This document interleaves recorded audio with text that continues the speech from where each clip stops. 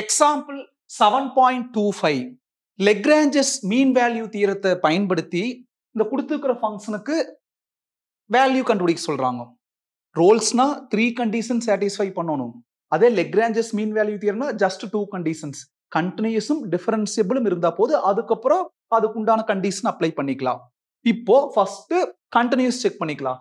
இந்த close interval ஒன்லேருந்து two வரைக்கும் எதை கொண்டு வந்து இந்த எஃப்ல சப்ஸ்டியூட் பண்ணால் டினாமினேட்டர் ஜீரோ வரைக்கும் வாய்ப்பு இல்லை. அதனால f is continuous on closed interval one comma two இப்போ டிஃபரன்சியபிள் வேணும்னா எஃப் டேஸ் எக்ஸ் வேணும். அதனால டிஃபரன்சியேட் பண்ணிக்கலாம். எஃப் ஆஃப் எக்ஸோட டிஃபரன்சியேஷன் எஃப் டேஸ் எக்ஸ் எக்ஸை எக்ஸால டிஃபரன்சியேட் பண்ணா ஒன் அந்த மைனஸ் அப்படியே. எக்ஸால தான் டிஃபரன்சியேட் பண்றோம். கரெக்டா எக்ஸ் பவர் என் அப்போ எதை எதையா ட்ரீட் பண்ணல? அதனால ஒரு தடவை டிஃபரன்சியேட் பண்ணா போதும். X power n formula power கீழே வந்துட்டு அப்புறம் ஒன்று கம்மியாயிரு டூ கீழே வந்துட்டு அப்புறம் ஒன்று கம்மியாகிறப்ப பவரில் ஒன் இப்போ ஓப்பன் இன்டர்வல் அதாவது ஒன்னை தவிர டூ தவிர ஒன்னுக்கு பிட்வீன்ல எதை கொண்டு வந்து இந்த எஃப் டேஸில் சப்ஸ்டியூட் பண்ணால் டினாமினேட்டர் ஜீரோ ஆகிறதுக்கு வாய்ப்பு இல்லை. அதனால இது differentiable on open interval one comma two அதை ரெண்டையும் எழுதிக்கலாம். F is continuous on closed interval one comma two ஒன்ல இருந்து டூ வரைக்கும். அடுத்தது f is differentiable on open interval one comma two அப்போ அந்த ரெண்டு கண்டிஷன் சாட்டிஸ்ஃபை ஆயிடுச்சு. இமீடியட்டா அந்த மீன் வேல்யூ தீரத்துடைய ஃபார்முலாக்கு போயிடலாம்.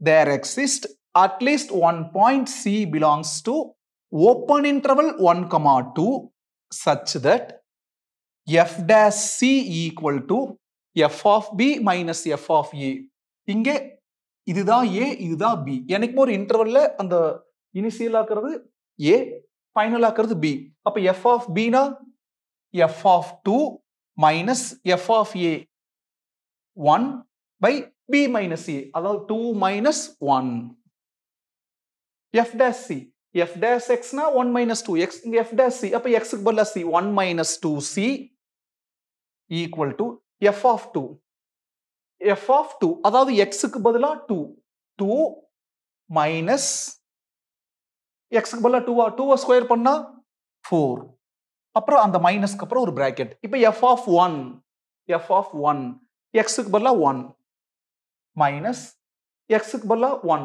ஒன்னை ஸ்கொயர் பண்ணால் ஒன் தான் பை டூ மைனஸ் ஒன்னா one one minus two c equal to two minus ஃபோர்னா minus two one minus one zero அப்போ மைனஸ் டூ மைனஸ் ஜீரோனா மைனஸ் டூ தான் minus two by one minus two plus one அங்கே போனால் minus one minus two c equal to அங்க already ஒரு minus two இன்னொரு minus one சேர்றப்போ minus three minus minus cancel c equal to three by two three by டூனா one point five அந்த one point ஃபைவ்ங்கிறது கண்டிப்பாக அந்த சிக்கு உண்டான interval open interval one comma two one இல்லாமல் டூ இல்லாமல் டூக்கு பிட்வீன்ல இருக்கும்னு. அப்போ ஒன் பாயிண்ட் ஃபைவ்ங்கிறது இதுக்கு பிட்வீன்ல இருக்கு. அதனால இதுதான் c value because it belongs to one comma two அந்த ரெண்டு ரூல் ஒபே பண்ணாலே கண்டிப்பா அதாவது மினிமம் ஒரு வேல்யூவா இருக்குது. வந்ததே ஒரு வேல்யூ தான். அப்ப செக் பண்ணாம கூட தைரியமா பிலாங்ஸ் டு அந்த அதுக்குண்டான இன்டர்வல் எழுத முடியும்.